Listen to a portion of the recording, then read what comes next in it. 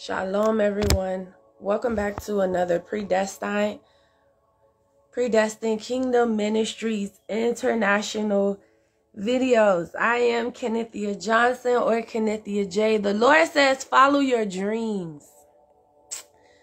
Follow your dreams.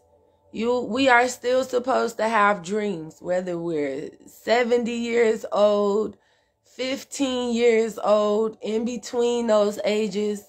You know, we are to have dreams. Like we we we have to dream. Like that's the found that's the foundation of the I am that I am. He, he speaks through dreams. We are to have dreams. he gives us the dreams he wants us to have. So if you're not dreaming, something not right, something off. And so the Lord is just saying, correct that. Okay, we are to have dreams and they are to manifest here in the land of the living. So, um, this says, the future belongs to those who believe in the beauty of their dreams. Okay, you gotta believe in what the Lord tells you okay? What he shows you. It's the reason why it's a, a desire in your heart. It's a dream. Okay. Praise God. So the Lord is, um, dear Heavenly Father, I thank you for this word. I thank you for your time and your presence. I really praise Psalm 141. You are a watchman, a gatekeeper over the words that come out of my mouth. In Jesus Christ's name, I pray. Thank you. Thank you for allowing us to serve you. In Jesus Christ's name, amen. So I will be reading from Matthew 24 13. And he said to them, It is written, My house shall be called a house of prayer.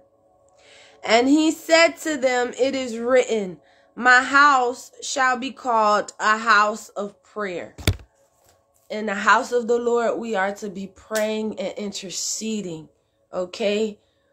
And reading the word of God. Everything else, praise and worship, singing, praying, praising, worship. He even goes down, he says, have you never read out of the mouth of babes and nursing infants, you have perfected praise? Okay? Praise, prayer that's God built a house for prayer. Okay. He, if the Lord allows you to open up a sanctuary or if you're attending someone else's sanctuary in the Lord, we are to go there to pray oh, first, not to, you can fellowship after church, but that's not what we go for.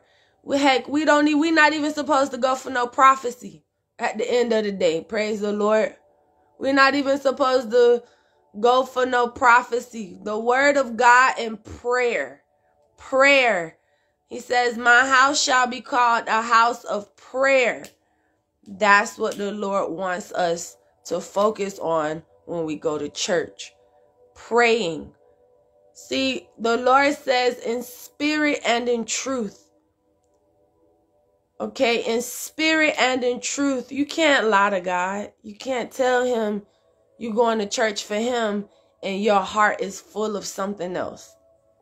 Your spirit is not where it's supposed to be. Okay, the Lord says, My house shall be called a house of prayer. We are to be perfected into praise, praises unto God. That's what the scripture is saying as well. But God's house is a house of prayer. Okay? Okay. Second part. We could just do one video. No, that's it. Shalom.